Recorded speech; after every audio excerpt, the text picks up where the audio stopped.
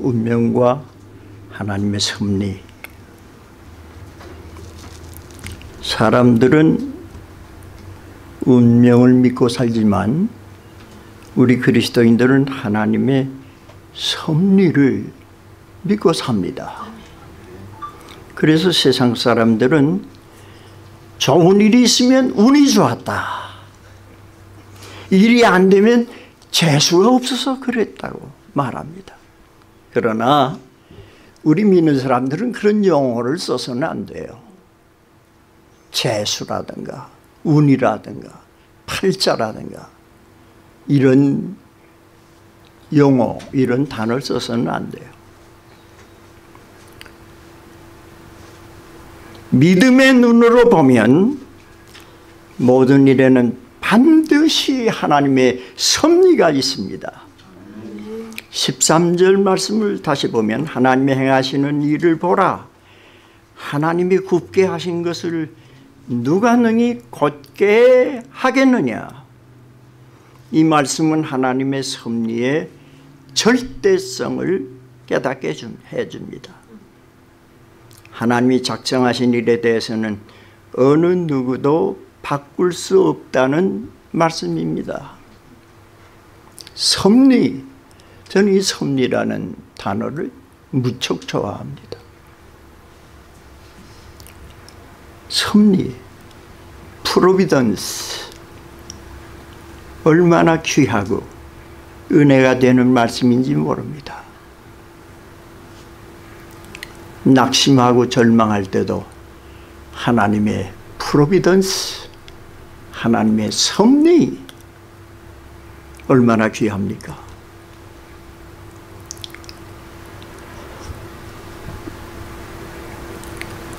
섭리의 절대성이 몇 가지 있습니다. 먼저는 구원의 섭리가 그렇습니다. 하나님께서 구원하시기로 작정하신 사람은 결코 멸망받을 수 없는 것이 하나님의 섭리다. 섭리입니다. 구원을 작정하신 하나님의 섭리. 누구도 변경 못합니다. 여기 저 신약학자 구약 저 신학학자가 계시는데 윤철한 목사님. 윤철한 목사님 저서를 보니까 굉장해요. 누가 저보고 검토해 달라고 그래서 책을 머릿말부터 끝까지 다 봤어요. 왜 받겠습니까? 뭐 잘못된 데가 있는가? 그 누가 봐달라고 했으니까 잘못된 데가 있는가 하고 봤어요. 그러다가 은혜를 받았어요. 아주 훌륭한 저서예요. 훌륭한 저서. 이런 신학자의 앞에서 내가 말씀 전하는 게 좀 부끄럽지만 하나님의 섭리의 절대성 이것은 구원의 절대성입니다. Perseverance of Saints 성도의 견인 하나님께서 택하신 자들은 결코 버리지 않으시고 굳게 붙으신다. Perseverance of Saints 그래서 사람들 중에는 하나님께서 주신 자유의지를 악용해서 오랜 세월을 탕자와 같이 방탕하게 보내다가 마침내는 회개하고 돌아와서 믿음으로 마지막 인생을 마치는 이들을 보았습니다. 예수님께서 십자가에 못 박히실 때 양편에는 강도 두 사람이 나란히 못 박혔습니다. 그런데 한편 강도는 십자가에 못 박혀 죽어가면서까지 곁에 십자가에 못 박히신 예수님을 조롱하고 비웃었습니다. 그러나 다른 편의 강도는 많은 분들이 왼편 오른편 그렇게 얘기하지만 그 성경에 그런 말씀 없어요. 왼편 오른편 없고 한편 또 다른 편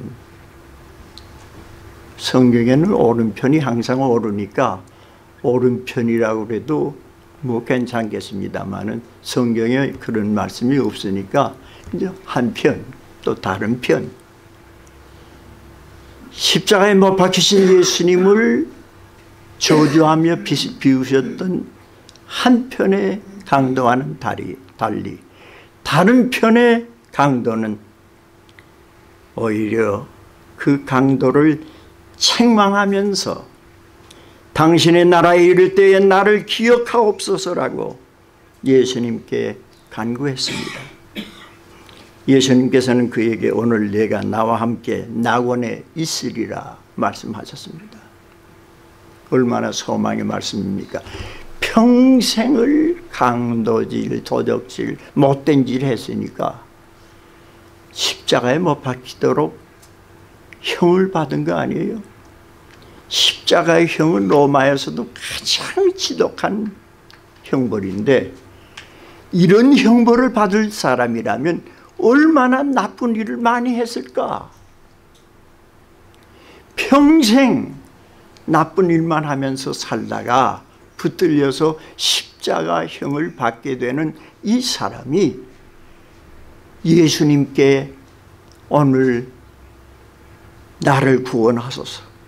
당신의 나라에 이를 때 나를 기억하옵소서 라고 간구했을 때 예수님께서는 오늘 내가 나와 함께 낙원에 있으리라. 참 일순간에 그 사람의 삶이 역전된 거죠. 평생 악한 일만 하던 사람이 마지막 순간 십자가에 못 박혀서 숨이 끊어져야 할 그 순간에 예수님을 의지함으로 말미암아 구원을 얻게 되었다고 하는 것. 이 구원의 절대성, 하나님의 섭리의 절대성을 말해줍니다.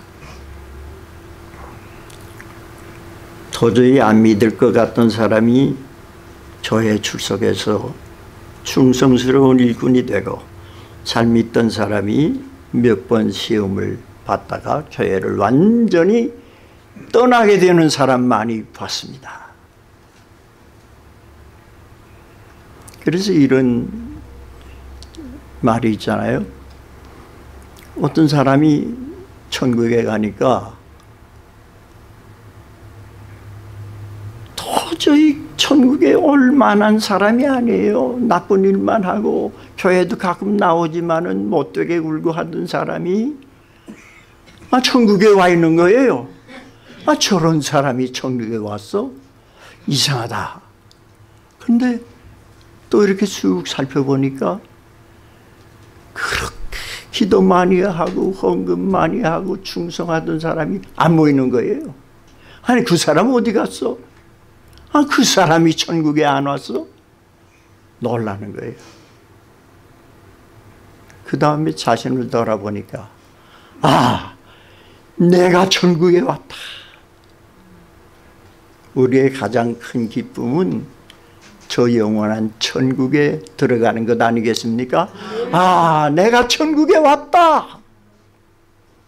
몰라요. 하나님만이 아세요.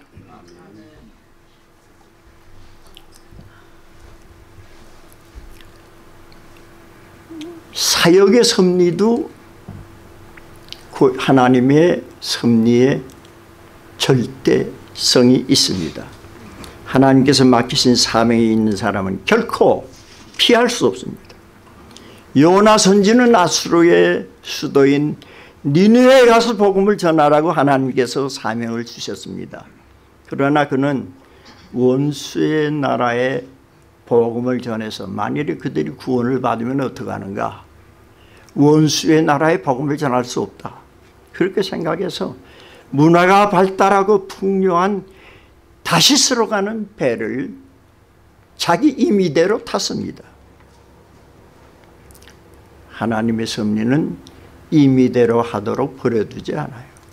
풍랑을 만나게 하시고 하나님의 섭리가 그를 사용하셔야 되기 때문에 큰 물고기를 준비해서 어떤 사람은 고래를 고래가 나타나서 삼켰다 그러는데 성경에 고래라는 말이 없어요. 주일학교 선생님들이 아이들에게 재밌게 얘기하느라고 그 커다란 고래가 연하를 삼켰다고 그러는데 물고기 그냥 물고기 성경 말씀대로 큰 물고기가 이 연하를 삼키고 하나님께서 또 뱉으라고 하니까 이 큰 물고기 속에 있던 연하가 바다에 내침을 당해서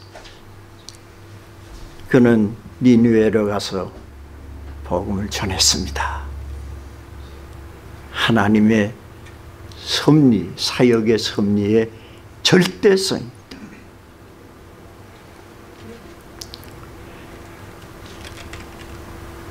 욥기를 통해서도 우리가 그걸 알 수 있습니다.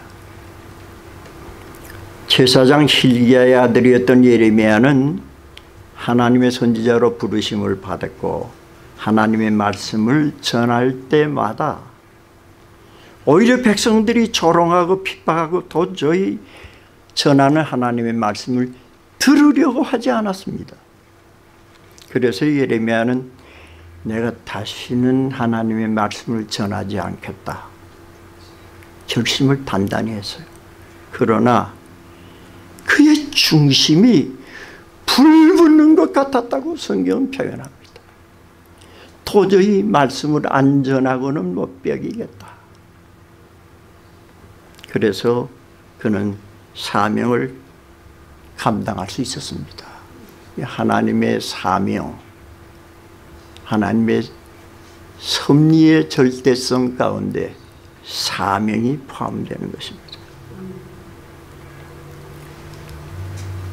이렇게 하나님의 섭리는 구원이나 사역에서는 절대적이시지만은 우리의 삶 속에서는 하나님의 섭리가 양면적인 역사를 보여주십니다. 14절 말씀을 보면 형통한 날에는 기뻐하고 건강한 날에는 생각하라. 저는 저 옛날 번역을 보고 있습니다. 하나님이 이 두 가지를 병행하게 하사 사람으로 그 장래 일을 능히 헤아려 알지 못하게 하셨느니라. 참 이 말씀도 얼마나 은혜가 됩니까? 형통한 날에는 기뻐하고 공고한 날에는 생각하라. 세 번역에는 뭐라고 나왔어요? 뒤돌아보라. 예, 뒤돌아봐. 뒤돌아봐야지. 생각하는 게 뒤돌아보는 거죠. 왜 이런 일이 생기는가?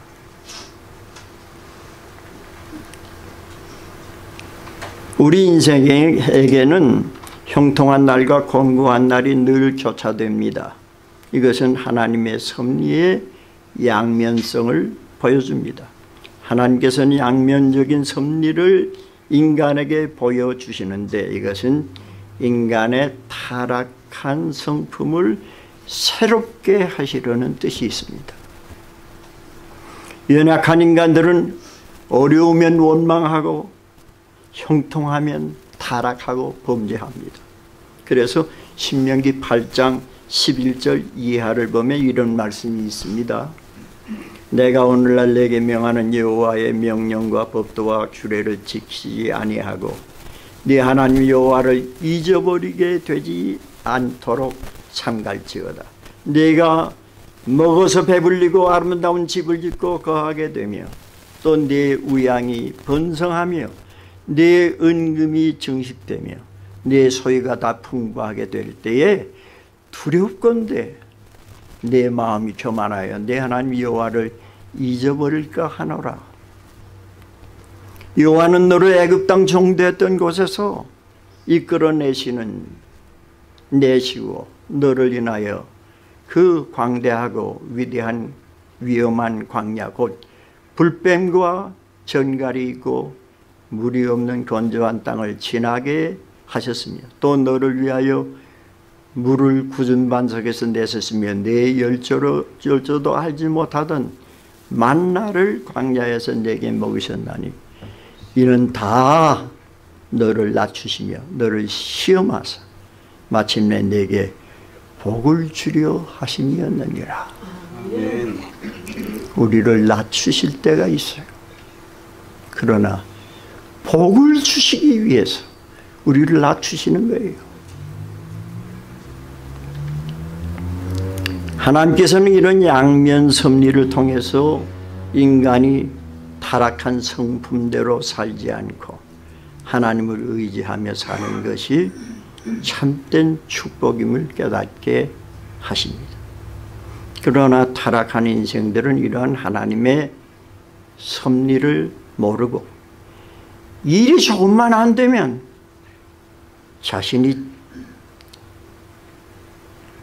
잘못한 건 생각지 않고 원망하고 저주하고 타락하고 나중에는 하나님마저 원망을 합니다. 그러나 일이 좀 잘 되면 아 내가 좀 지혜로웠다. 내가 보통 사람이 아니지. 자기가 한 것으로 생각해서 교만해지기가 쉬운 것입니다. 이것이 인간이에요. 그래서 하나님의 이 양면적인 섭리가 없으면 우리가 바로 설 수 없어요. 절대적인 섭리도 우리를 위한 것이고 양면적인 섭리도 우리를 깨닫게 하셔서 하나님께로 돌이키게 하시려는 하나님의 깊은 뜻이 있는 것입니다. 로마서 8장 32절을 보면 자기 아들을 아끼지 아니하시고 우리를 우리 모든 사람을 위하여 내어 주시니가 어찌 그 아들과 함께 모든 것을 우리에게 은사로 주지 아니하시겠느냐? 어찌 그 아들과 함께 독생자 예수님을 우리를 위해 주신 하나님 아버지께서 독생자 예수 그리스도와 함께 하늘의 귀한 것으로 우리에게 채워주시지 않겠느냐 하는 말씀입니다. 섭리를 믿는 사람은 이 말씀대로 이 말씀도 아멘으로 받아요. 믿습니다.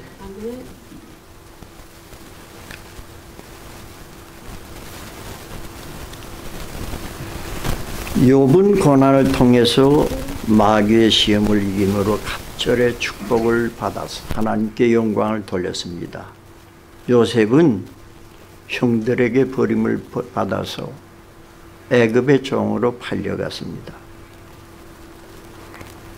그러나 그 일로 인해서 요셉은 애굽의 총리가 됐고 가족을 구원하고 흉년으로 죽어갈 수많은 생명을 살렸습니다. 만일 요셉이 애굽에 팔려가지 않고 그저 색종, 색동저고리를 입고 아버지의 귀여움 받고 사랑만 받고 지냈다면 어떻게 됐습니까? 요셉은 그저 아버지가 물려준 양떼나 몰고 목장이나 운영하면서 지내다가 죽었을 거예요. 그런 요셉을 우리는 기억도 못할 거예요.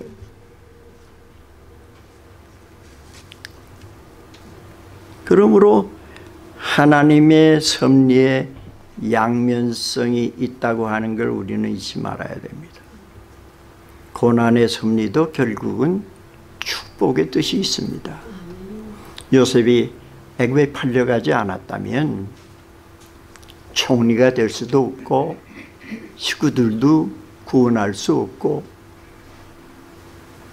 또 특별히 고센 땅을 애굽 왕의 바로에게 허락받아 가지고 이스라엘 백성들이 애굽 민족과 섞이지 아니하고 고센 땅에서 그들이 살 수가 있었습니다. 다 이게 하나님의 섭리예요. 우리가 하나님의 섭리만 믿는다고 하면 절대 낙심하지 않아요.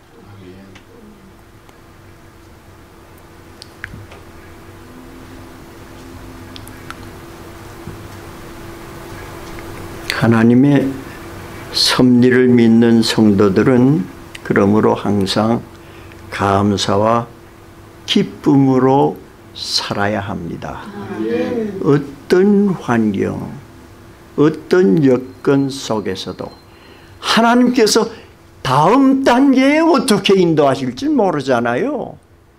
큰 기대와 소망을 가지고 하나님의 프로비던스 섭리를 굳게 믿고 나가는 것입니다.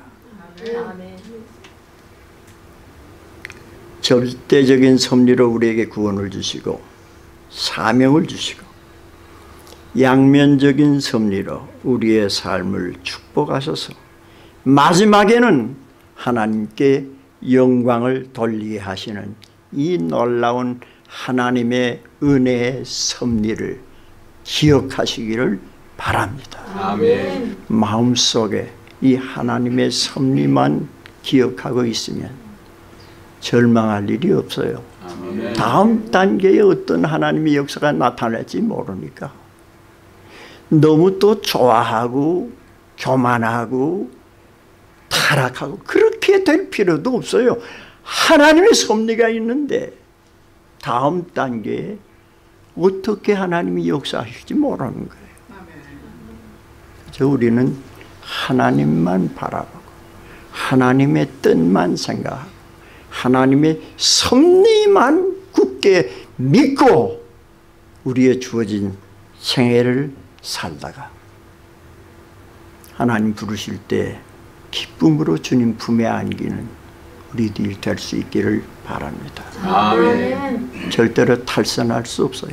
하나님의 섭리를 믿는 사람은 탈선하지도 뭐할 수도 없고 절망할 수도 없고 오직 하나님만 바라보며 나아가서 승리하고 예비하신 저 영원한 천국에 함께 만날 수 있는 우리 모두가 될 수 있기를 바랍니다. 아멘. 기도하겠습니다. 살아계신 하나님 아버지, 우리를 통해서 영광 받으시기 위해서 이 땅 위에 보내셨습니다. 우리는 우리를 위해 이 세상에 존재하는 것이 아닙니다.